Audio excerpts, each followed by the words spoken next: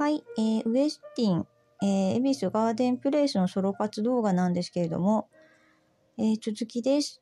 そしてもう私のちょうどコーディネートが出てきたので、美淑女コーデ紹介に行っちゃいました。エムズグレイシーのワンピース、バラ柄のワンピースに、なんかカールパークレーンの、えー、七分袖のニットを着て、なんかちょっと不思議な感じなんですけれども、重ね着風にして、まあでもそこまで大丈夫かなっていう感じで、え、ロングブーツを合わせました。昨日の私です。はい。黒髪です。このポーズをなんか変えちゃいましたね。何枚か撮りました。スカートをまた広げるポーズ。また広げてますね。あ、これまたちょっとお化粧室のところですね。うん、こんな感じです。ね、これすごくあの華やかなワンピースですね。うん、ホテルとかに合ってるかもしれないですね。これ上、ダウン、羽織りました。こんな感じです。羽織ってこう前を開けてきたら、まあ、こんな感じだよっていう感じですね。どうかな？合ってるかな？わかんないですけれども。はい。で、これを前を閉じてきたらこんな感じだよっていう、こんなんですね。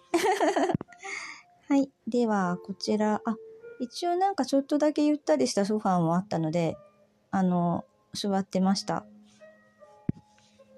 で、これが、えっ、ー、と、リース、なんか大きいリースが入り口のところにあって、あの、可愛いと思ってお写真撮ろうとしたら、あの、ちょっとスタッフさんがごめんなさいね、入っちゃって、でもすぐね、私がカメラを構えたらすぐ気づいてくれて、パッと避けてくれました。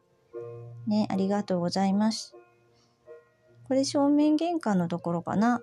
あの、ちょっとこの後ろに、これまたロブションかな？トイルロブション映っちゃってますね。あれ？あ、私ですね。私が、ああ、これは、オフィスティンのあの通路を歩いてるところかな。なんかあの、ガーデンプレイスの方のところに続いてる通路があって、まあ、ここもよく母と歩いてたんですけれども、その時に多分、足元の歩いてるね、動画私よく撮るんですけれども、撮ったところですね。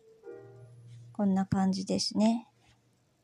で、これ今度また恵比寿ガーデンプレイスのタワーの方に来ました。このタワーもね、スカイレストランとかよく一緒に行ってたので、なんかちょっともう行くの怖かったんですけど、行こうと思ってタワーの方に行ったら、あのー、なんか久しぶりすぎてちょっと迷っちゃったんですね。うん、たらあの、ポインセチアがあって、あの、母の好きなポインセチアがあったので、大きな、撮ってみました。あ、で、これがですね、これのガーデンプレイスのタワーの、あの、1階なんですけれども、これちょっと2階ぐらいから映しちゃったんですけども、これ前この場所がですね、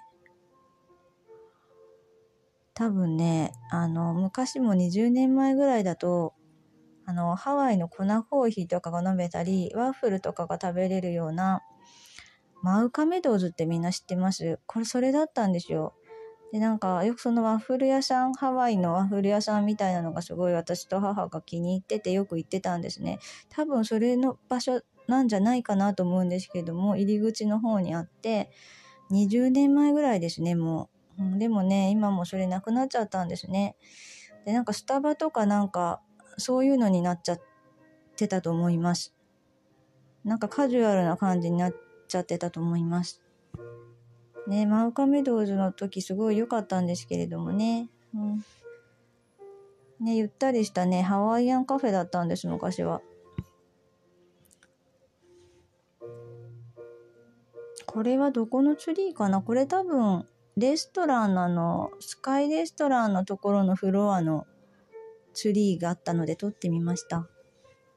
これは、この、ね、上からの景色ですね。もう、レストランフロアのね、よくこの景色も一緒に見てましたね。なので懐かしくなってね、ぐっと来ちゃったんですけれども、一応撮りました。また5分になっちゃいますね。また続きます。